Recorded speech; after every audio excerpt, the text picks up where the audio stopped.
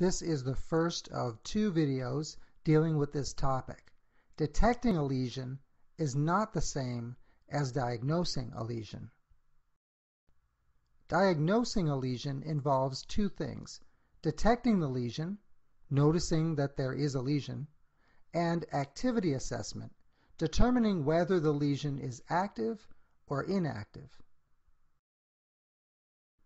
Let's begin with detection, which is recognizing a lesion. This involves observations. How large is the lesion? How deep is the lesion? And is the lesion cavitated or not? On the other hand, activity assessment involves determining whether a lesion is active or arrested. So now let's look at the definitions you have already read from a published glossary on cariology terms. The icon at the lower right is there to remind you that you have already read this. Hopefully this video will help you if you did not completely understand this when you read it. With an active lesion, over a specified period of time, there is a net mineral loss. That is, the lesion is progressing. Clinical observations include visual appearance, tactile feeling, and plaque accumulation. Since it is active, we should treat it, either conservatively or operatively. On the other hand, an arrested or inactive caries lesion is a lesion that is not undergoing net mineral loss. That is, the caries process in that lesion is no longer progressing. It is a scar of past disease activity. So at one time it was an active lesion, but it is no longer active. As a result, it probably does not need to be treated, unless it presents an aesthetic issue. If that didn't help, let's look at some real-life lesions. Let's compare these two lesions from our cariology textbook. The icon at the top right is there because you will be looking at that photo in your reading assignment this week. Now, on the left, we have three lesions that are arrested. If you were to gently probe them with a probe or an explorer, you would find that the lesions are hard and smooth. They look shiny and they are dark.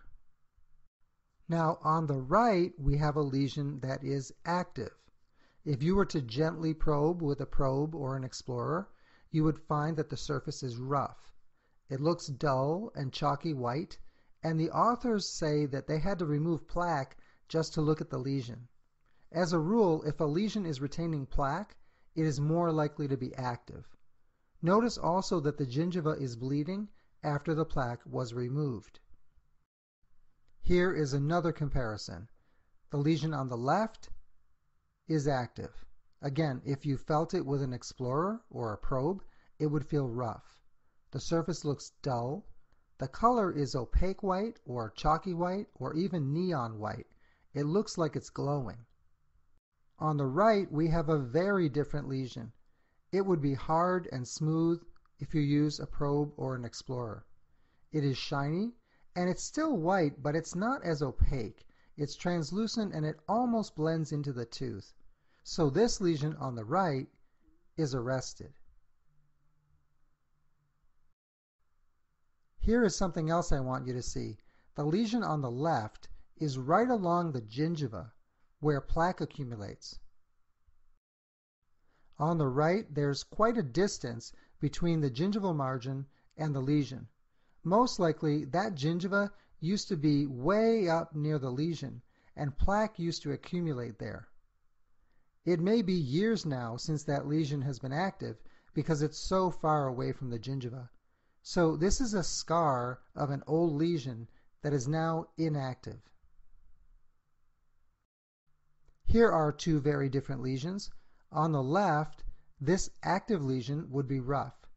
It's dull, and the color is opaque white slash chalky white slash neon white, and it's right up against the gingival tissue.